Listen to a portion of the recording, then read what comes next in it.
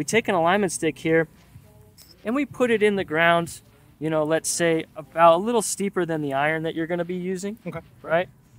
And, you know, the, the whole idea here is for your club shaft, and we might lean that down a little bit, to sort of follow that exactly. It's going to almost feel like it scrapes kind of up the angle of that alignment stick. Mm, yeah, okay. Yep. So what Keith is saying, if I start with the club now in front, and I actually just get the sensation of shifting my pressure forward, getting my pelvis extending and lifting, we can see that the club moves into a position here. Exactly. And the other thing that I like that you're doing is you're keeping the sole or the leading edge of that club essentially parallel to your spine angle